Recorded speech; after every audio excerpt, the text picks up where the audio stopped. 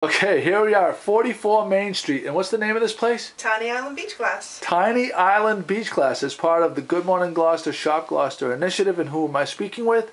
Denise Foley. Denise Foley. Denise, simple question. What is your best gift idea for a man and best gift idea, holiday gift idea for a woman? Okay, so for a man to buy a woman, I know these pendants have been really popular. They're beach glass found on mostly Pavilion Beach in Gloucester and other beaches in the area.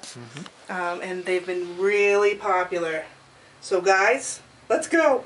You have earrings and you have pendants. Yes. You have all And different rings colors. and stuff like that. So, anything beach glass has All been right. hugely popular. Oh, and for a man? And for a man, let's see.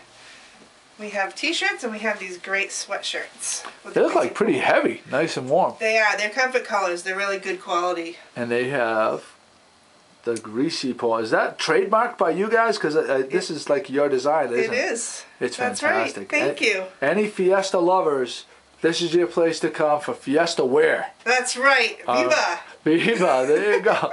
Okay, so what are the hours going to be here?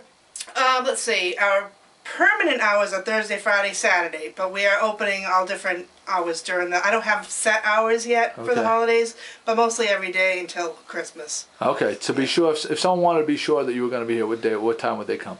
Eleven thirty. 11:30. Yep. All right, thank you very much. Shop Gloucester.